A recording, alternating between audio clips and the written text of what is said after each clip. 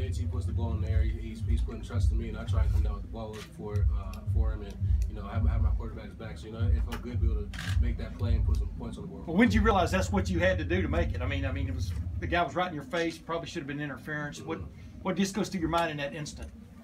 Come down with the ball, Yeah. do do anything you can to catch that ball. You know, I'm glad I was able to make the play. Now, And you, you you talked about the journey from coming back from that broken leg to where you are tonight. Yeah, I mean, it was definitely a tough injury to go down so close to the first game.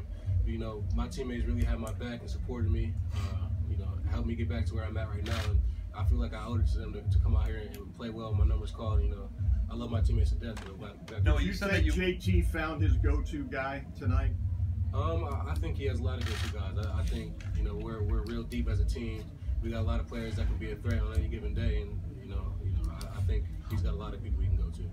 What makes you more of a threat in the red zone? First four, first four catches were all touchdowns. Um, I think I have a, a bigger frame. You know, I'm, I'm able to box out a little bit and go, and go up and get the ball. So in the, in the red zone, I feel like that's what I was able to do today. What does this victory mean to this team? I mean, obviously, a lot of people were still, you know, had some questions about a young football team.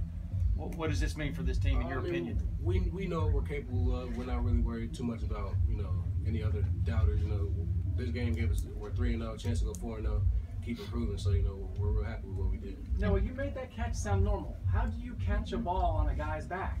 Did you even could you even see the ball when you caught it?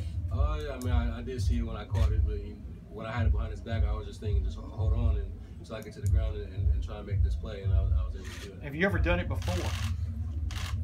Not that I can specifically remember.